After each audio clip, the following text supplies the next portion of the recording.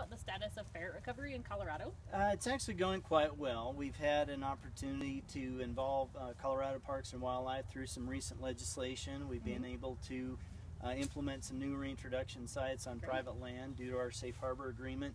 Uh, but our biggest limiting factor is still plague management, and we've been very quite successful, as you know, in raising ferrets in captivity. Mhm. But if we're going to recover the species, we definitely need more in the way of plague management. And we have a very effective partner in USDA, APHIS Wildlife Services, very eager to help. Um, all that's lacking is resources for them to help us on a larger scale. So hopefully Gotcha. that'll that, that will be occurring in the near future. Yeah, sounds good.